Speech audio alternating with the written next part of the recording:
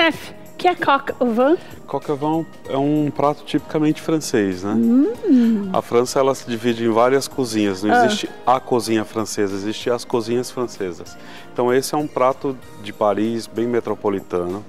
Que é um prato tradicional lá, tradicional, fácil para encontrar. Fácil de encontrar e muito saboroso.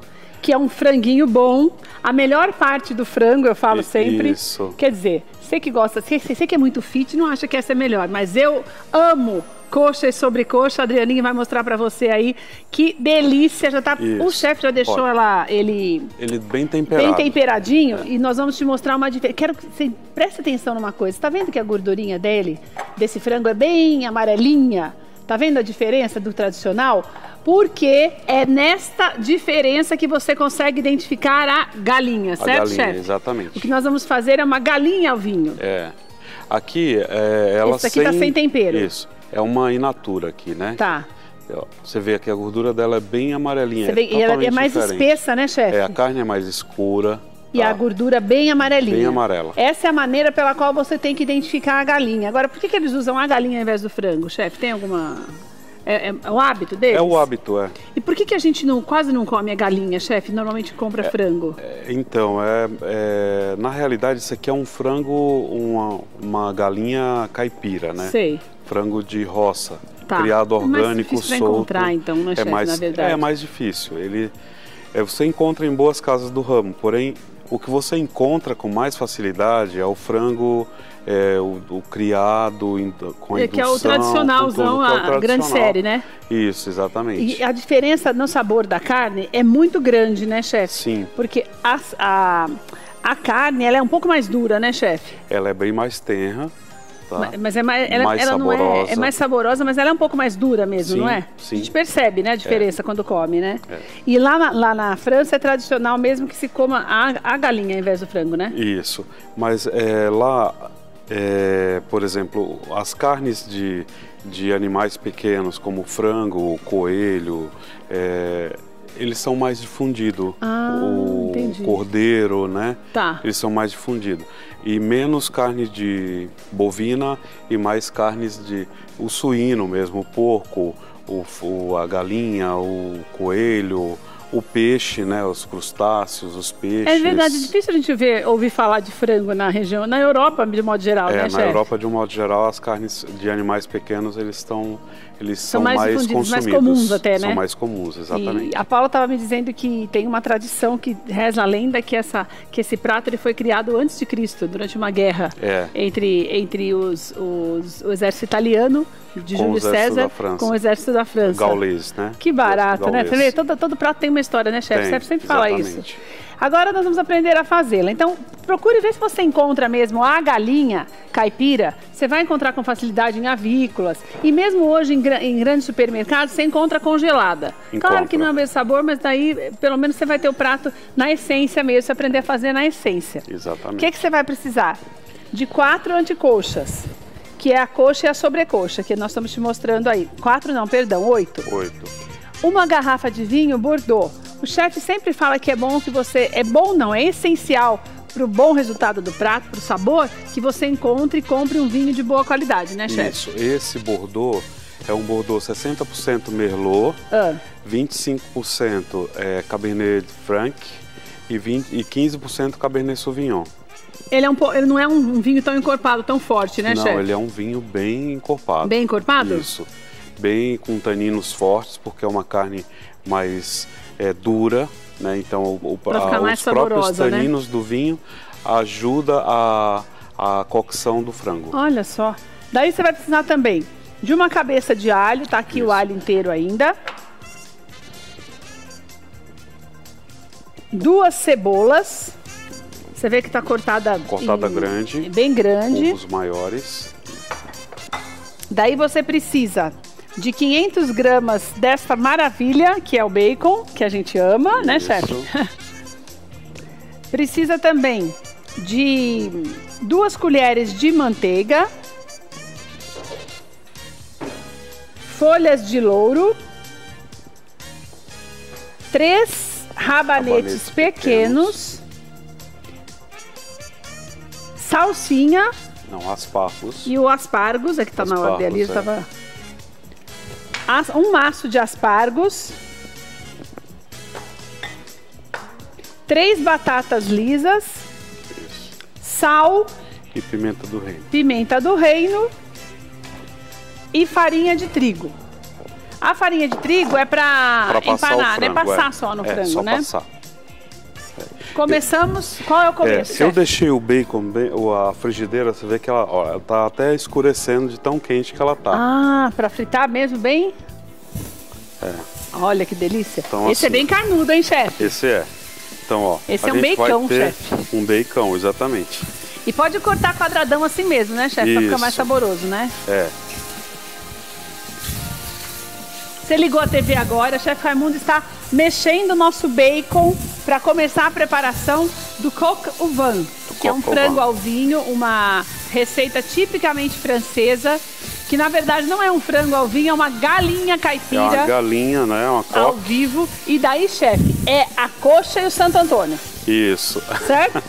Você que está em casa não conhece coxa e Santo Antônio, a gente vai te mostrar já. Exatamente. É porque eu não sei de onde vem, mas quando eu era pequena a gente chamava Você de Santo chamava- Antônio a sobrecoxa. E o Isso. chefe Raimundo, fiquei muito feliz porque ele me disse que também já tinha ouvido falar Sim, sim. como Santo Antônio, né? É. Na sua terra era Santo Antônio também, chefe? Também. Eu nunca entendi por que, que tem esse, esse nome, chefe. Você eu acho que é sabe? porque alimenta mais, né? Ah, Deve ser isso. Tem bastante carne, a gente come bastante, né, É, chefe? exatamente. Tem umas coisas na- da- de nome de prato, né, chefe? De, de É, varia que de uma região para outra, que é muito isso, legal. É, que a gente fica meio atônito sem saber o que fazer, mas é, é, mas é isso mesmo, é, o Santo Antônio. é melhor não, não, não entender. Como a Bispa Sônia fala, é um milagre, então a gente A gente vive, vive. milagre é. É. verdade, não vamos nem discutir. Ainda mais milagre, né, chefe? Que é sempre bom. Com certeza. Vamos discutir pra quê, né? É, O chefe já colocou ali a manteiga. Lembrando Isso. que o chefe sempre, sempre usa manteiga ao invés de margarina e Isso. sempre sem sal. isso. Torrou um pouquinho o bacon, já foi a manteiga, É, aí nós foi a cebola começar- grande Isso. e vai ficar ali um pouco. Vamos começar? A gente O tinha coque. feito isso. E, Já tinha temperado, bem, bem temperada ela, com tem- sal você e pimentinha do reino Ah, só. só sal e pimenta do reino? Nada mais, é. Tá, Aí ela já tá bem temperadinha, já tem o sal no ponto dela, tá. Né? O que, que a gente vai fazer? Passar ela na farinha. Assim. Aqui começou a abrir o espaço Ah, na junto? frigideira. Olha Isso, só. ela vai pegar o sabor também. Cê, é, ela é um prato sofisticado, mas ela tem um prato, ela tem uma cara de prato de cozinha camponesa da França. E pra gente tem uma cara de comida caipira, né, chefe? Pra gente tem? tem uma cara de comida caipira. Uma cara meio de comida de mineiro, né, chefe? Isso. Tipo, com feijão tropeiro, não tem essa cara? tropeiro, é verdade. Mas porém ela, ela é bem, bem naquela, ela bem. Vou abrir aqui outro espacinho.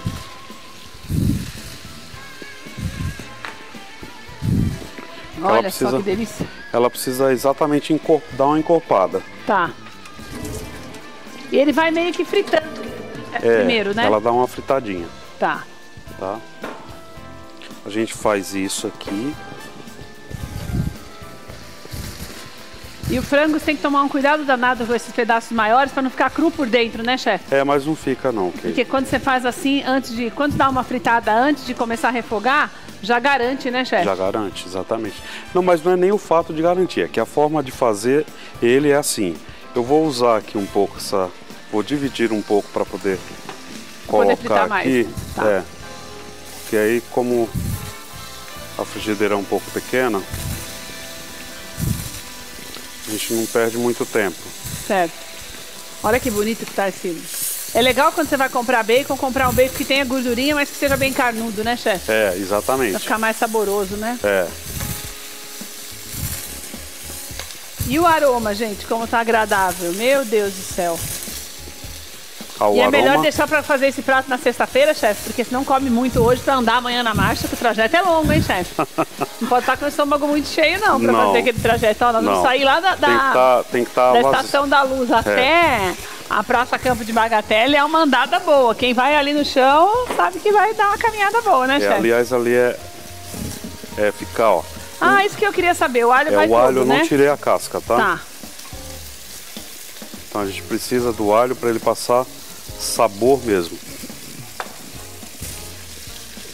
Folhinhas de louro. Isso. Vamos colocar as outras? Vamos. É só dar uma olhadinha na farinha mesmo, né? É. Olha a farinha e sai, né, chefe? Isso. Não é a milanesa. Não.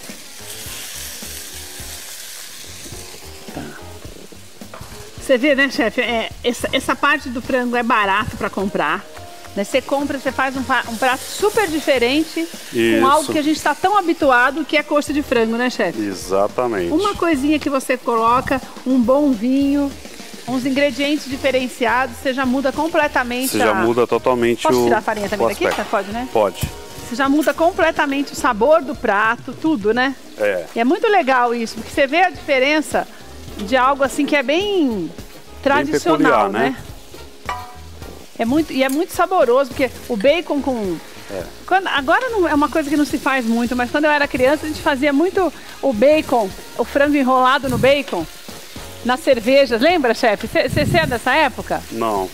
Minha mãe fazia muito, colocava falar. o bacon, enrolava na cerveja, é, enrola- colocava o frango, enrolava o bacon nele Ah, e tá. colocava na, na forma e jogava a cerveja por cima e punha para assar.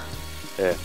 Então É, é, é uma, são tem coisas várias e várias diferenciadas, formas, né, que, que é um prato bem de antigamente esse. Nunca É. mais vi falar de usar cerveja para fazer o Usar frango. cerveja para fazer o frango, né? Aspargos e a batata É. cortada em tiras bem largas. Nesse prato, Hum. também em algumas regiões na França, eles cozinham os, a cenourinha, o, ah, os legumes Tá. junto, tá? Porém, aqui a gente vai usar ele mais Ah, eu acho melhor sem legume. Toda hora tem que ter legume também, né, chefe? Assim fica bonito também. fica. Só o bacon. mas Não precisa coloquei- cobrir, né, chefe? Mas ele tem que ficar mergulhado, né? Ele tem que ficar isso, ele tem que ir Tá. cozindo agora, tá? Vai cozindo, vai Agora ele vai, vai ficar, vai ser cozido no, no vinho, né, chefe? novinho. Tá. Então a quantidade não tem exata, né? Você vê que fica um pouco para baixo da metade dele, já tá Isso. bom, né, É chefe? porque na realidade aqui, se nós cozir, se a gente tampar a panela, vai ser bom porque o vapor vai cozir, vai entrar todo no, Quer uma tampa, chefe? no vinho. Não, não há Não necessidade. precisa? Não. Ó. Esse aí, ah, esse já tava bom de ser virado. Olha que delícia. Oh, meu Deus. Que gosto, que bonito esse prato. E a cor dele fica bonita, né, chefe? Fica. Fica bem só- diferenciada a cor. Muda muito a cor do frango. Eu- O, sabor deve mudar também. Eu acho que eu nunca comi esse frango, viu, chefe? Você nunca comeu? Não, acho que com vinho não. Então, esse. O sabor deve ficar bem diferenciado. É. Bem Você diferente. sabe que assim, esse é um prato que ele, ele entra geração, sai geração e ele continua é, muito agradável. Então os restaurantes de cozinha francesa Já é uma tradição, né, é uma chefe? tradição você É quase encontrar uma obrigatoriedade, né? Isso. Vira um, por exemplo, nós temos em São Paulo, São Paulo tem um restaurante francês que é muito tradicional, que em toda época que você for, você come. Você come, né? Exatamente. E nunca saiu do cardápio, né? Que é esse prato, o filé rossini também, que alguns chamam filé rossini, Ah, que é diferenciado, diferente também. que é diferente, que é feito com foie gras. Que assim, que apesar de ter a resistência agora de não se comer o fígado do ganso, né? Eu- esse eu já comi com foie gras, chefe. Com foie gras, né? Que é uma delícia, É o de passagem. O povo resiste para comer, mas eu acho... uma- Até o patê do fígado É foie gras é gostoso. É. É, diferente, né? Exatamente, é bem diferente.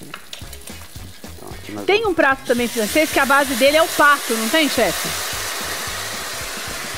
Que eu tô tentando lembrar o nome agora, que eu Que a comi, já é comi pato? também, que é um pato com laranja, mas tem um nome também. Sim, sim. Mas que também eles têm, que a gente quando pede também pede com o nome em, em, Em francês, que eu francês. esqueci. É, o pato com o pato com, com laranja é o magré dele. E não É, é, o peito do pato. e não é, laqueado. mas é francês, não é? Sim, Porque eu já, é uma delícia aquilo, hein, é francês. O, Como é gostoso, A mesma gente. coisa como fazer, por exemplo, o como? A conf- confitado, o pato confitado. Né? Ah, Faz é? também com frango, que faz na própria, o confite é na própria gordura do animal. Ai, que delícia.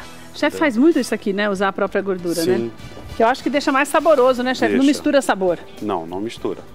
Eu, eu cobri um pouco ela, porque é isso que vai acontecendo. O vinho vai reduzindo. Como que eu sei que tá bom, chefe? Ela, mais um pouquinho ela já tá boa, olha. O vinho vai reduzindo, certo? Certo. Aqui. Depois a gente vai coar esse molho, porque a gente vai banhar o, o- aqui o caldo, olha. Ela já vai ficando isso aqui, ó. Então já junta já as E gorduras. é- ele vai tudo. engrossando, né, chefe? É, ela vai engrossando exatamente por aquele pouco Hum. de farinha que a gente colocou, mas por as gorduras também que tem. Aqui ela vai ajudando, ela vai ficando assim. Então você não precisa ir a Paris para comer um. Não precisa. Uma Coca Mas, você pode não comer precisa nem no parar de Brasil. trabalhar, não tem nem desculpa para sair Não, do nem- estúdio. Não, nem precisa. Não precisa. É. Aqui também, olha, tá vendo? Ela já tá já chegando já no pontinho Sabe que isso tem os certo. dois lados, né, chefe? É. Tem o lado bom de você estar aqui, a gente pega, come essa comida boa e tal. E tem o lado ruim da gente nem poder falar pra Bispa Fê, ah, Bispa, a gente precisa sair, viajar um pouco pra experimentar a culinária, não sei da onde. É. Não tem essa, não tem como arrumar umas desculpas pra dar área, chefe. Não. Não tem como abandonar o barco pra poder fazer umas coisas diferentes, tá É, vendo? então tem tá vendo? isso. Tá é. bom, né? É. Aqui a gente é, salteia um pouco, depois eu vou na montagem, mas eu vou. é, eu tô preferindo usar o aspargo porque é bem mais é, sutil, Tá. tá? Que é só pra não ter o, a carne, o frango puro, né, chefe? Isso. Pra ter um saborzinho. É. E aí eu vou colocar um pouco da, da manteiga para saltear aqui. Só pra olhar mesmo, pra manteiga e tirar, né, É, chefe? porque na realidade ele já foi cozido. A, Tá. me- a mesma água que eu usei para cozir a batata, que é uma batata inglesa, essa aqui, Tá. Aquela batata lisa, Tá. né? Eu já cozi o aspargos também. Chefe, eu quero que você mostre, porque Hum. assim, eu falei no começo que eu tenho essa preocupação da, da parte de dentro da- do frango ficar crua, crua. porque dependendo, às vezes fica, né? É, e como é que a gente já exatamente. sabe que tá bom, que já então, cozinhou aqui bem? por o tempo, tá? Tá. Por a carne ser bem macia. Olha aí tá? dentro, você tá vendo como tá bem da mesma cor?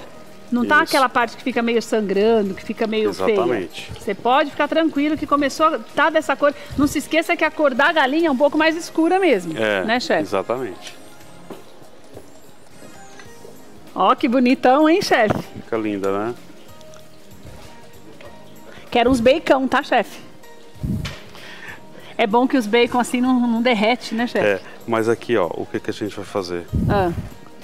É esse aqui, ó. Ai, que delícia esse molho. Então esse molho aqui, a gente não vai. Os pedaços, na realidade, é um pouquinho mais de tempo, teria que coar, Lê. Coar. Mas você, você costuma coar mesmo, chefe? Não fica. coar. Por quê? Pra ir só o caldo, nu- nunca os pedaços. Ah, tá. Entendeu? Ah, quer dizer que o bacon não é pra comer? Não, é só pra. Mentira, chefe. Sério? Por isso que você riu a hora que eu falei que eu queria os pedaços grandes de bacon?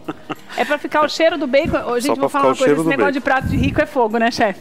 Como é que você pega. Chefe do céu, você precisa começar a adaptar essas receitas assim. Ah. Porque como é que você pega uns pedaços maravilhosos de bacon assim faz nada e a pessoa ele. não come, gente? Não tem É. cabimento um negócio desse, chefe. Pois é.